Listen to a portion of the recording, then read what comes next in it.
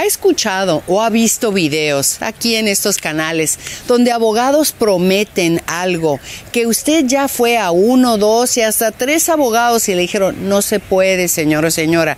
Pero esos abogados le dicen que sí, que ellos tienen una fórmula mágica para poder ganar su caso. Cuidado, precaución. Aquí les tengo unos tips de cómo evitar estafas y que le mientan. Número uno, siempre pida una segunda opinión. Si usted ya fue con tres abogados y le dijeron que no se puede y va con el cuarto y le dice que sí, pida segunda opinión sobre esa opinión del cuarto abogado. Pida pruebas en los libros de leyes donde dice que sí se puede hacer algo que otros abogados le han dicho que no se puede. También pide una explicación clara sobre el argumento que hace este abogado cuando otros le han dicho que se puede.